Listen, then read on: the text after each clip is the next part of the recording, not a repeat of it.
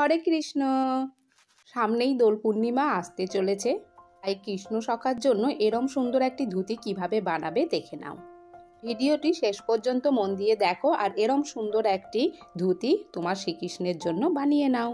এখানে আমি যে কাপড়টি ব্যবহার করেছি, এটি একটি গ্লজি কাপড়, এটি কটন কাপড় সিল্ক নয়। এই ধরনের কাপড় তুমি কাঠ পিসের দোকানে পেয়ে যাবে।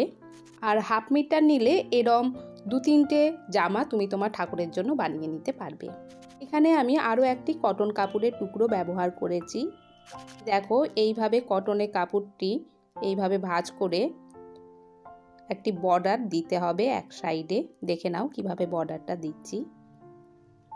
এই ধুতিটি সম্পূর্ণ হাতে সেলাই করা এবং রান সেলাই দিয়ে রান স্টিচ দেওয়া হয়েছে আর অন্য স্টিচ এখানে দেওয়া হয়নি।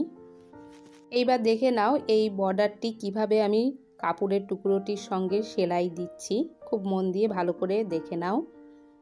এরম কাপড়ের টুকরো যদি তোমার কাছে না থাকে, তাহলে তুমি অন্য কাপড়ের টুকরো, নতুন কোনো কাপড়ের টুকরো বা ব্লাউজ পিস দিয়ে এই ধরনের ধুতি শ্রীকৃষ্ণের জন্য বানিয়ে নিতে পারবে।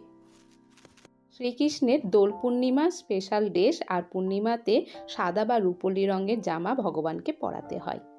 এখানে আমি আমার শ্রীকৃষ্ণ সখার মাপ অনুযায়ী ধুতিটি বানাচ্ছি। তোমাদের কৃষ্ণ সখা একটু ছোট হলে পরে কোমরে মাপটা নিয়ে নেবে, কাপড়ের মাঝখানে আর বাকি টুকরোটি কুচি হিসেবে নেবে।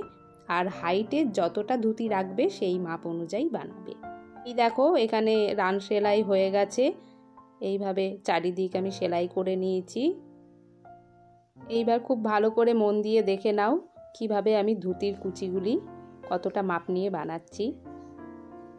নেক্সট ভিডিওতে শ্রী রাধা, সখী ড্রেস বানানো দেখাবো। অবশ্যই দেখো আর এরম সুন্দর ধুতি আর ড্রেস রাধা কৃষ্ণের জন্য ঘরে বসেই নিজের হাতে বানিয়ে নাও।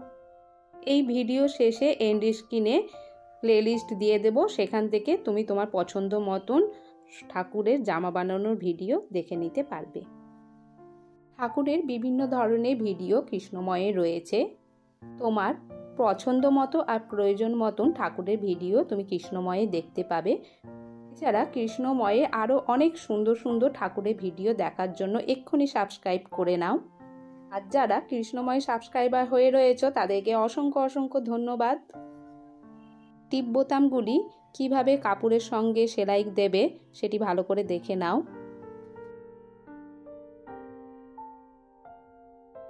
এইবার খুব মন দিয়ে দেখো। রাইট সাইডে এইভাবে কুচি করে নেবে, ছোট্ট ছোট্ট কুচি করে নেবে। আর এই কুচির শেষ প্রান্তে একটি ছোট্ট টিপ বোতাম দিয়ে নেবে, এই দেখো, এইভাবে। টিপ বোতামগুলি এইভাবে কাপড়ের সঙ্গে সেলাই দিয়ে নিয়েছি। এইবার লেফট সাইডে এইভাবে ছোট্ট ছোট্ট কুচি বা প্লেট করে নেবে। এবং সব কুচিগুলিকে ধরে একসঙ্গে উপরের দিকে সেলাই দিয়ে নেবে।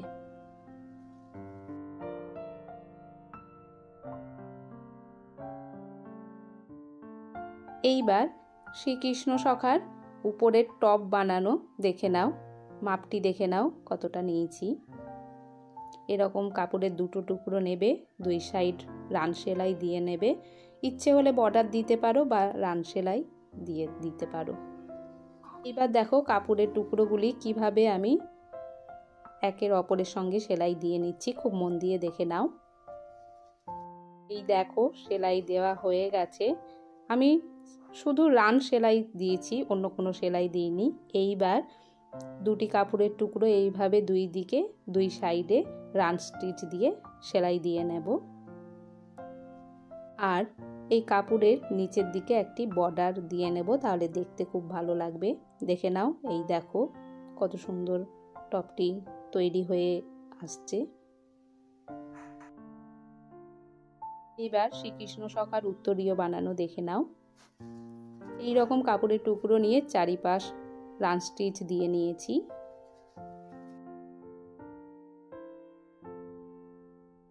শ্রীকৃষ্ণের জামা তৈরি হয়ে গেছে, এবার সব একসঙ্গে দেখিয়ে দিচ্ছি। এই দেখো ধুতি। ধুতিটি কীভাবে পরাবে? এই যে দেখে নাও, এইভাবে ঘুরিয়ে কীভাবে পরাতে হয়। এবং নেক্সট ভিডিওতে আমি দেখিয়ে দেব এই ধুতিটি তুমি তোমার কৃষ্ণ সখাকে কীভাবে পরাবে। তো সেই ভিডিওটি অবশ্যই দেখো। দেখলে তো, বাড়িতে বসেই তুমি নিজের হাতে সামান্য একটু রান সেলাই দিয়ে কত সুন্দর ধুতি তুমি নিজেই ঘরে বসে বানিয়ে নিতে পারবে। তাই আর দেরি না করে এক্ষুনি তোমার শ্রীকৃষ্ণের জন্য এরম একটি ধুতি সুন্দরভাবে বানিয়ে নাও। তোমার কৃষ্ণ সখা যদি ছোট্ট হয়ে থাকে, তাহলেও কোনো অসুবিধে নেই, কোমরের মাপ নেবে আর দুই সাইডে অল্প এক্সট্রা কিছু কাপড় নিয়ে রাখবে। আর তোমার কৃষ্ণ সখার হাইট যেমন হবে লম্বায়, তেমন ধুতির মাপটি নিয়ে নেবে। ব্যাস, আর এইভাবে বানিয়ে নেবে কৃষ্ণময়ের ভিডিও দেখে। নেক্সট ভিডিওতে রাধারানীর ড্রেস কীভাবে বানাবে, সেইটি দেখিয়ে দেব। তাহলে আর দেরি না করে এক্ষুনি দোল পূর্ণিমায় রাধাকৃষ্ণের জামা বানিয়ে নাও। এই ভিডিও শেষে প্লেলিস্ট থেকে আরও অনেক ভিডিও রয়েছে ঠাকুরের সেইগুলি দেখে নাও।